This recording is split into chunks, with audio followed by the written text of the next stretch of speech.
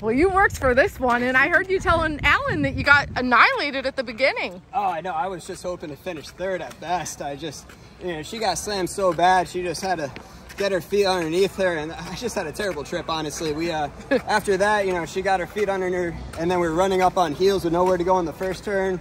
Turned her loose on the backside, and then she was just carrying me really nicely, but then we are on heels again, waiting, waiting, waiting. But once we got loose, you know, obviously the class prevailed. Alan did a great job getting her ready. So yeah, very happy to get the win for Alan. All right, thank Great you. man. ride. Oh, I love it.